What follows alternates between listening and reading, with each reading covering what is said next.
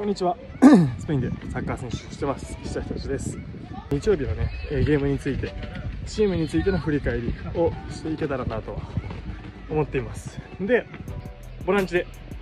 え90分間、えフル出場しました。3対2でね、え勝利することができました。えー、よかったです。チームとして勝ち点3取れたこと、えは本当に良かったなと思ってます。まあ、2失点してしまったことに関しては、まあ、先制点を決められてでその後に逆転して3対1まで持ってった後に最後決められたという感じです。なので2失点目に関してはもうラスト90分のラストとかでもう完全に集中力が切れちゃってると、まあ、失点の仕方も何これで失点しちゃうのみたいな感じだったし、まあ、それは本当に修正というか本当に集中力切らしちゃいけないと。思うで1点1失点目に関してはうまく相手に主導権握られて、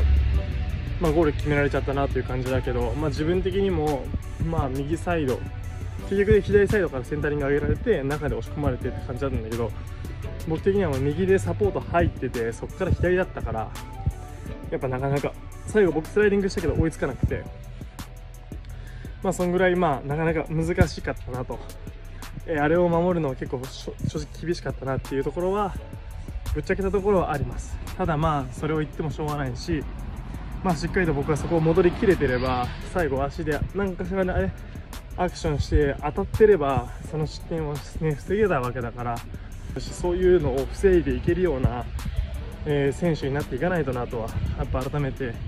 思ってます。まあ基本的に前半も後半もしっかりとボール握って主導権握って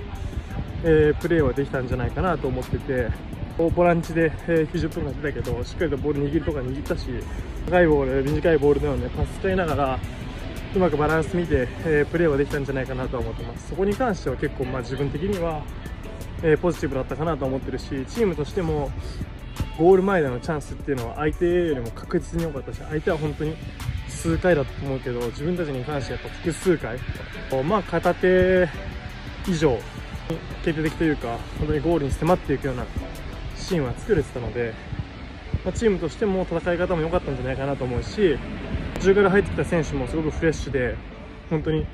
えチームを助けるような働きをしてたと思います。チームとしてもいい方向に進んでると思うしまあ